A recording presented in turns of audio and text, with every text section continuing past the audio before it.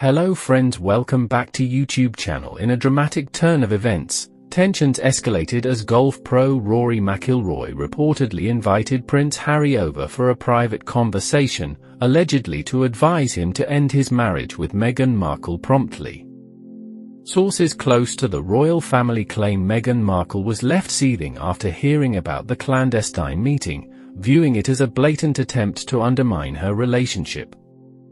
The meeting, said to have taken place discreetly at McIlroy's estate, has sparked intense speculation about the intentions behind such advice. While the exact details of the conversation remain undisclosed, insiders suggest McIlroy expressed concerns over the couple's public image and its impact on Harry's reputation. This development has added fuel to ongoing rumors of rifts within the royal family, with Meghan reportedly feeling betrayed by Harry's willingness to engage in discussions that could jeopardize their marriage and public standing.